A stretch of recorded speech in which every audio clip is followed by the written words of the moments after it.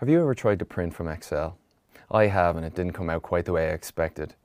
We live in a time where everything is done digitally.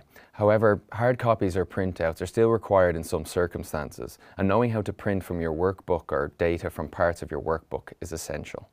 Thomas Bradshaw has been asked by his manager at Westcal Publishing to print a hard copy of some data in the Westcal sales report so that they can provide an update on sales revenue and bonuses in a meeting with stakeholders. Thomas has attempted printing from Excel before, but he didn't know how to configure the settings and page layout to get the results he would have liked. Thomas needs to quickly learn the basics in page layout and print preparation so that he can carry out this task for the manager. Let's have a look at how to use the printing functionality in Excel. There are a range of print options available in Excel to provide you with the tools to achieve the perfect print. The print options can be accessed in the Backstage view by clicking the File tab and then Print. You can also use the Control and P shortcut. The right side of the print area provides a scaled down version of what your document would look like if it were printed with the current settings. You can flip through the pages using the arrows at the bottom of the screen. There are also two commands in the bottom right hand corner of this view. Click the left command to show or hide the margins and click the right one to zoom to 100%. On the left side of the print area, you will see the print command, which you can use to send the file from your computer to an available printer. Next to it is the copies increment box, which you can use to choose the number of copies that you would like to print. Below is the printer drop-down menu that you can use to select a printer. The printer properties will provide more detailed options in a dialog box. Finally, the settings section allows you to choose page ranges, orientation, size, margins and more. To print selected worksheets or a workbook, you can specify which parts of your workbook you would like to print.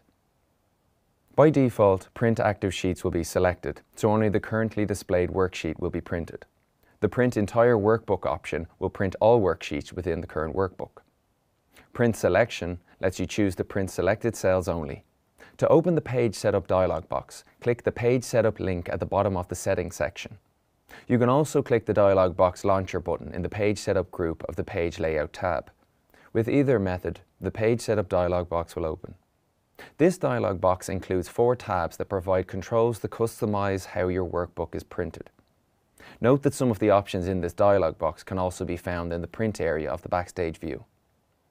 Excel has predefined views which helps you to control how you view your worksheet. You can also customize views. For example, you can choose which elements on the screen are visible or are hidden. The Workbook Views group on the View tab lets you switch between the different views. When you start Excel, normal view will be selected. You can switch between views using the commands on the status bar as well.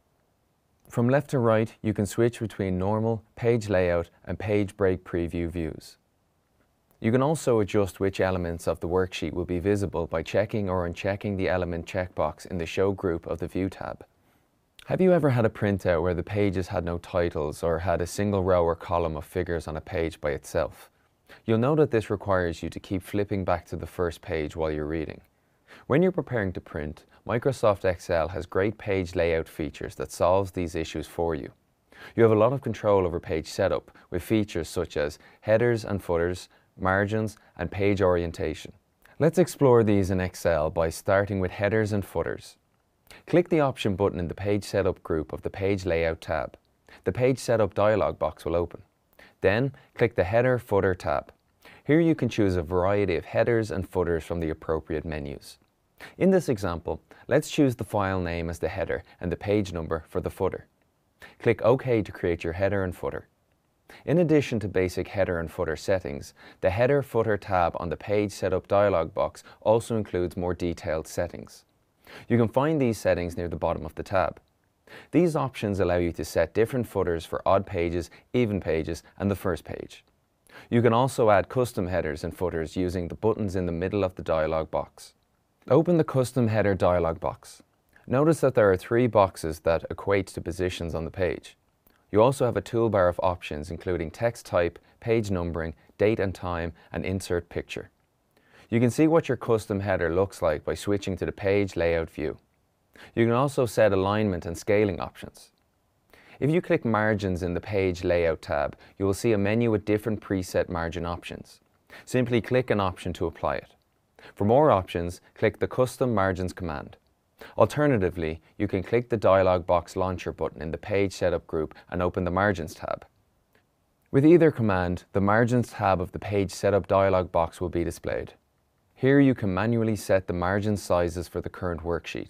You can also center the page's content on the page horizontally and vertically. You can set text alignment on the page as well as header and footer margins. The final print option that we will look at is page orientation. You will find this setting in the print category of Backstage View.